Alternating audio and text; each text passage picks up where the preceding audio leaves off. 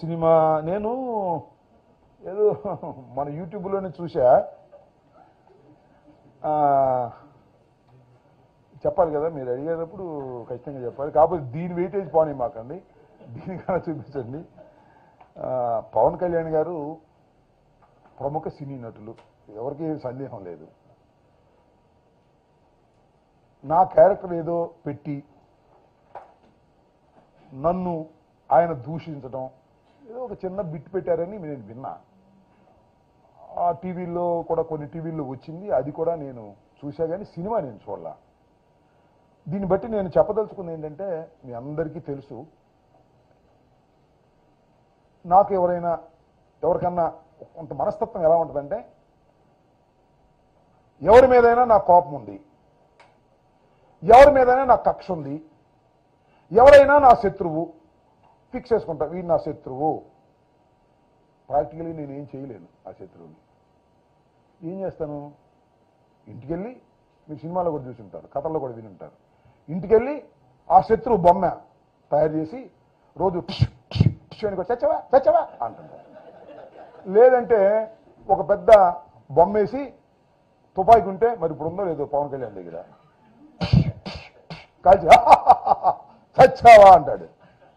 ఆ సామెతగా ఉంది. నా మీద కోపం ఉంటే రాజకీయంగా మాట్లాడవయ్యా. రాజకీయంగా ఏదైనా చెయ్యి. రాజకీయంగా ఏమీ చెయ్యలేని అసమర్థుడవి. నన్ను ఎదుర్కోలేకపోతున్నావు. అందువల్ల నీ సినిమాలో ఆయన ఎవరో డబ్బులు ఖర్చు పెడితే ఆ సినిమాలో నువ్వు యాక్ట్ చేస్తూ నా క్యారెక్టర్ దాన్ని క్రియేట్ చేసి దానికి శ్యాంబాబు అని పేరు పెట్టి దాన్ని పట్టుకుని నువ్వు తిట్టి ఆనందపడుతున్నాం ఏం ఆనందం అంటారు తెలిసేదండి సునకానందం. ఆ సునకానందం పడే పరిస్థితికి పవన్ కళ్యాణ్ గారు దిగజారిపోయాడు. సంతోషం. ఇట్లా సునకానందం పడుతూ ఉండటమే తప్ప నీకు వేరే మార్గం లేదనే విషయాన్ని కూడా దయచేసి మీరు గమనించండి. నేను డ్యాన్స్ వేశాను. ఏ సందర్భంలో వేసాను రోజు నాకు ఎవడో డబ్బులు ఇస్తే డ్యాన్స్ చేయను ఎవరి దగ్గర ప్యాకేజ్ తీసుకుని డ్యాన్స్ చేయను లేదు రోజు అసెంబ్లీకి వస్తా డ్యాన్స్ చేయను. That is not my profession అది డ్యాన్స్ అంటాం కంటే ఆనంద తాండవం. సంక్రాంతి భోగి మంటల్లో నేను ముగ్గులు పోటీలు పెట్టి అద్భుతంగా ఫంక్షన్ చేసి ఆ రోజున ఆనంద తాండవం చేస్తా. అది నాకు అలవాటు. ఈ సంవత్సరం చేశా అంతకు ముందు సంవత్సరం చేశా. నాది పట్టుకుని సినిమాల్లో పెట్టి ఆనందపడిపోతున్న సునకానందం. నేను ఎవరి దగ్గర ప్యాకేజ్ తీసుకుని డ్యాన్స్ చేయను. ఎవరి దగ్గర డబ్బులు తీసుకుని డ్యాన్స్ చేయను. అయ్యా పవన్ కళ్యాణ్ గారు చంద్రబాబు దగ్గర ప్యాకేజీ తీసుకుని డ్యాన్స్ చేసే నువ్వు నా డ్యాన్స్ని కామెంట్ చేసే పరిస్థితికి దిగజారిపోయావు. పాపం ఏం చేస్తాం? అంతగా దిగజారిపోయినందుకు ఇంకేం మాట్లాడతాం ఏం మాట్లాడలేం. సంక్రాంతికి వేసే నా డ్యాన్స్ గెలిచినోడేసిన డ్యాన్స్ ఇది. సత్తెనపల్లిలో గెలిచి మంత్రి అయ్యి సంక్రాంతికి డ్యాన్స్ వేసా గెలిచినోడు డ్యాన్స్ వేస్తే సంక్రాంతి ఓడినోడు డ్యాన్స్ వేస్తే చీకటి రాత్రి. చంద్రబాబుది ఈంది చీకటి రాత్రి డ్యాన్సులు మంది సంక్రాంతి డ్యాన్సులు అది వేస్తావు ఆనందం తానంతో వేస్తే వాటిని పట్టుకుని నువ్వు సినిమాల్లో ఉపయోగించుకునే పరిస్థితికి దిగజారిపోయావు. అంటే నువ్వు రాజకీయాల్లో ఏం చేయలేవు. రాజకీయాల్లో అసమర్థుడివి. రాజకీయాల్లో నన్ను ఎదుర్కోలేవు. కాబట్టి సినిమాల్లో ఎదుర్కొని కక్ష సాధించుకోవాలని అనుభవిస్తున్నాడు. అది ఆనందపడతాడు. ఏం ఆనందం అది? చెప్పండి ఆ? సునక ఆనందం అబద్ధాలు ఆడితే లోకేష్ పడతాడు. రెండోది ఈ నా మీద సినిమాలో పెట్టుకుని సునకానందం అనిపిస్తున్నాడు ఈ రెండు కాస్త ప్రజలు గుర్తుపెట్టుకోవాలి. ఈ సందర్భంగా చెప్పదలుచుకున్నాను.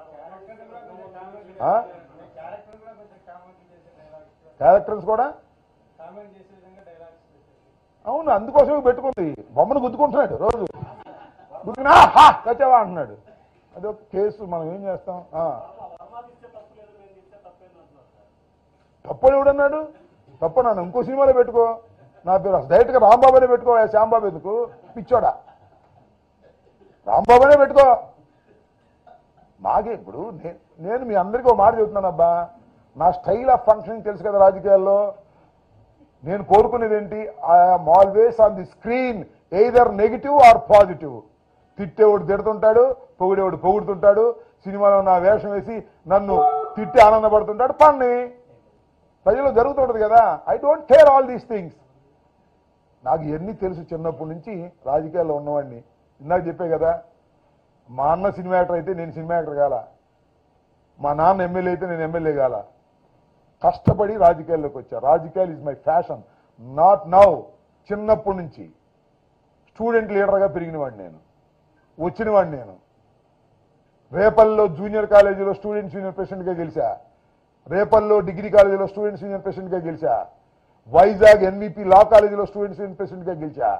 డైరెక్ట్గా వచ్చి సత్యనపల్లి రేపల్లో ఎమ్మెల్యే అయ్యా. రాజశేఖర్ గారు అప్పుడు అపోజిషన్ ఎంపీగా ఉన్నారు.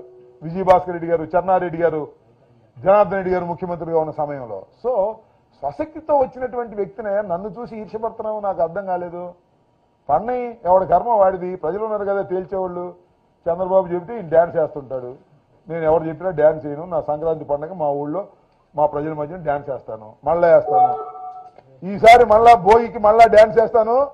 పవన్ కళ్యాణ్ గారు వచ్చారు మీరు కూడా చూసుకోండి. లేకపోతే టీవీలో చూసుకోండి. అర్థమైందా? మళ్ళా భోగి. జనవరి పద్నాలుగు నా డ్యాన్స్ ఉంటుంది. అది సింక్ అయితే సింక్ అయితే తర్వాత చూద్దాం. నా డ్యాన్స్ సింక్ కావట్లేదంట. నేనేమన్నా డ్యాన్సర్ మాస్టర్నా? నాకేమన్నా రిహార్సల్స్ ఉంటాయా? నేను డ్యాన్స్లో సింక్ అవుతానో లేదో ప్రజలు చూస్తారు. అసలు నువ్వు రాజకీయాల్లో సింక్ కావట్లే అది చూసుకోను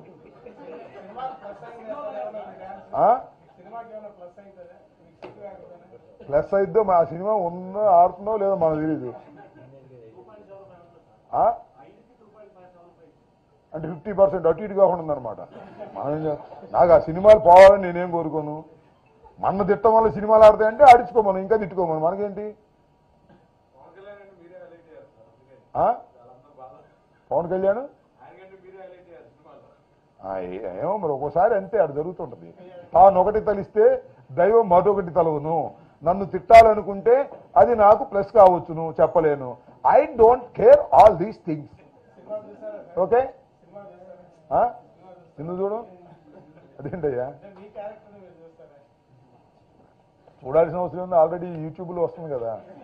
ఎప్పుడో చూస్తాం అప్పుడు వెళ్తే మళ్ళీ మీరందరూ పవన్ కళ్యాణ్ సినిమా చూసారు అంబటి రాంబాబు అంటారు పవన్ కళ్యాణ్ సినిమాలు చాలా చూసా చిరంజీవి సినిమాలు చాలా చూసా. నేను అసలు పెద్ద సినిమా పిచ్చాను ఇప్పుడు మానేసే కానీ టైం లేక. అన్ని సినిమాలు చూసేవాడు నేను. ఎన్టీ రామారావు కింద. ఎవరు నువ్వు? నేను పూర్తిగా నటిస్తే వాళ్ళు కంగారు పడాలి.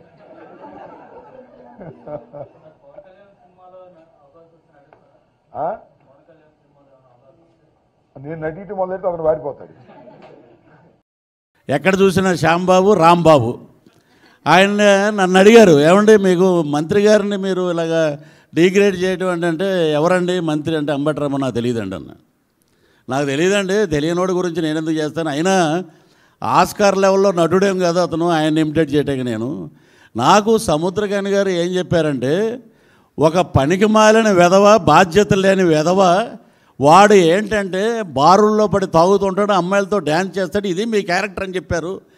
అది చెప్తే చేయాలండి ఏదో నేను పీపుల్స్ మీడియాలో మళ్ళీ నాకు చాలా వరకు ఇప్పుడు చెప్పొచ్చో లేదో ప్రొడ్యూసర్ గారికి. మామూలుగా బ- బయటికి వెళ్ళి వచ్చినా కూడా నాకు సినిమా రంగం బాగా ఆదర్శ హక్కును చేర్చుకుంది. మళ్ళీ పాత రేటు అద్భుతంగా నాకు పాత రేటు ఇచ్చారు బాగా డబ్బులు బాగా ఇచ్చారని.